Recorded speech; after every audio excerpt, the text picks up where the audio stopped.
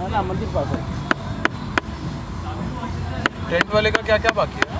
Main stage and is not not